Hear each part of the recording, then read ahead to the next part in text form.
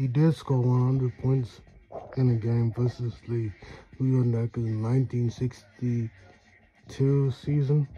Also, back when Wilt played, the NBA wasn't popular. The NBA wasn't, and plus, he had a game from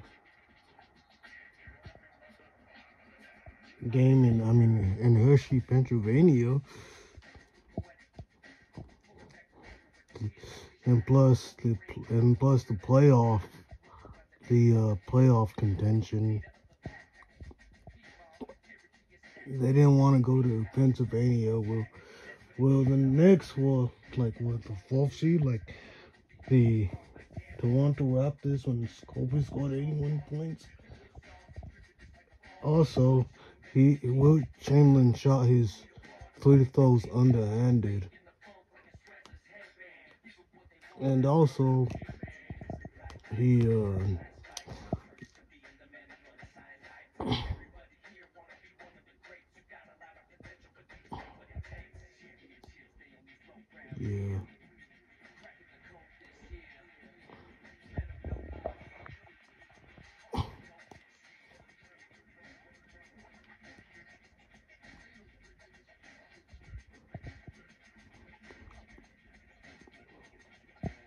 and uh,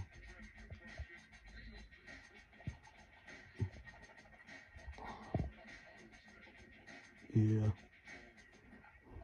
And though and like the NBA wasn't as popular as it is today.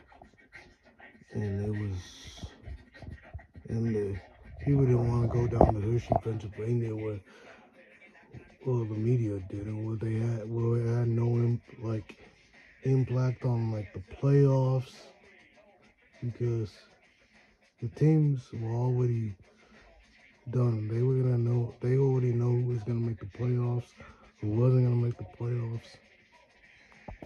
So they said, okay, why even go down? Okay, why even go down Hershey, Pennsylvania? We already know who's gonna make the playoffs, who's not, versus the New York Knicks.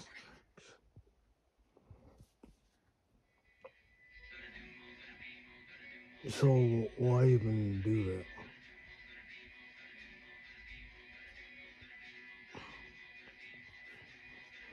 You know? And the NBA wasn't as popular as it is today. Or it was not popular. And the people weren't making as much salaries as they are today. And they played in Chuck Davis and it wasn't as popular.